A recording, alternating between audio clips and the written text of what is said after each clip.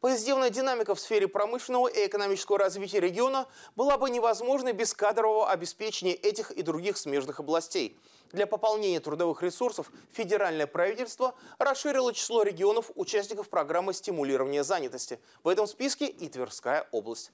Речь идет об организации бесплатного профессионального обучения и дополнительного профессионального образования работников предприятий оборонно-промышленного комплекса и граждан, ищущих работу для дальнейшего трудоустройства на таких предприятиях.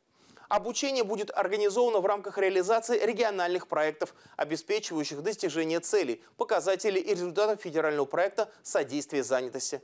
Кроме переобучения сотрудников промышленных предприятий, мероприятия региональных проектов направлены на оказание поддержки работодателям в создании временных рабочих мест для граждан, находящихся под риском увольнения, и в организации оплачиваемых для тех, кто зарегистрировался на бирже труда.